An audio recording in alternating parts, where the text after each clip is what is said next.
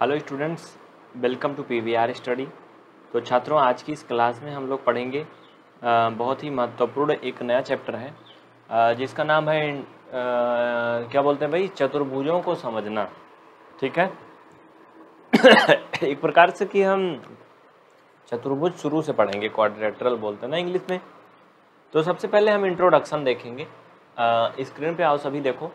Introduction means क्या होता है हिंदी में? परिचय होता है। क्यों भाई, यही होता है ना? तो पहले हम इनका परिचय करवाएँगे, पूरा कंप्लीट फैमिली बैकग्राउंड इनका क्या है? कैसे क्या हालचाल है? सब कुछ देखिए। तो इसमें सबसे पहले हम पढ़ेंगे साधारण बंद वक्र या सरल वक्र, जिसे इंग्लिश में कर्व बोलते हैं। आपने सुना होगा, वक्र नहीं सुना होगा, लेकिन कर्व सुना होगा। तो सिंपल क्लोज्ड कर्व ये क्या होता है? इसकी डेफिनेशन इधर साइड में आप देख लो। अभी बहुत सारे फिगर आपको मिलेंगे आपको उसमें से बताना होगा कि कौन सिंपल क्लोज्ड कर्व है।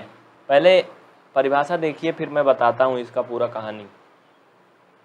ऐसा बंद वक्र जिसका शुरुआत व समापन बिंदु समान है, वो साधारण बंद वक्र कहलाता है।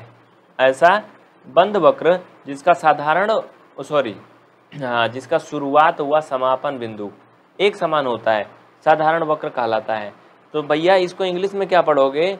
A curve does not have a curve does not pass itself and have the same starting and ending point okay देखो, हो सकता है कुछ इंग्लिश मेरी मिस्टेक हो। कुल मिला के मतलब ये है, जैसे मैंने यहाँ से शुरू किया एक कर्व बनाना, यहाँ बिंदी से। तो ऐसे मैं इसको घुमाया, ऐसे घुमाया ऐसे घुमाया ऐसे घुमाया ला के इस पर फिर छोड़ दिया। मतलब आप देखोगे मैंने शुरू यहीं से किया था ऐसे ऐसे मैं घुमाया ला के फिर उसी पे बंद कर दिया। यानी हमारा जो स्टार्टिंग पॉइंट है वो क्या है? यही है ना? और इंड भी यही हो रहा है। भैया, जब यहीं पे इंड हो रहा है तो ये इंडिंग पॉइंट भी है आपका। हाँ? मतलब इंड पॉइंट तो दोनों एक ही जगह है ना? अलग अलग तो है नहीं। आप कहोगे, भाई, ये अलग कैसे होता है? देखो, अलग ये था, वो होता बच्चा।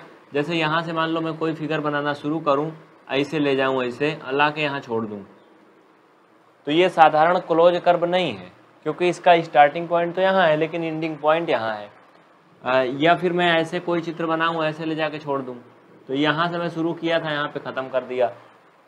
मतलब समझ रहे हो कि नहीं? हमने ऐसे घुमाया आपको हो सकता ना दिख रहा हो। आ, कट जा रहा होगा लेकिन आप समझ गए ना क्या कहना चाहता हूँ। भाई वैसे सिंपल सी बात है जैसे इसी में तुम ले लो। मान लो कि इसका स्टार्टिंग पॉइंट यहाँ था एंडिंग पॉइंट यहाँ पे लाके छोड़ दिया तो क्या हुआ? क्या ये साधारण क्लोज कर्व हुआ? नहीं हुआ ना। मतलब यहाँ पे अगर लाके छोड़ दिया तो क्या हुआ? ये नहीं हुआ। क्यों नहीं हुआ? क्योंकि ये खुला हुआ है। ओपन वक्र है ना? ठीक है? तो ये आप समझ गए? ऐसा बंद वक्र जिसका शुरुआत व समापन बिंदु एक ही होता है, वो क्या कहलाता है? आपका साधारण बंद वक्र या फिर सरल वक्र कहलाता है।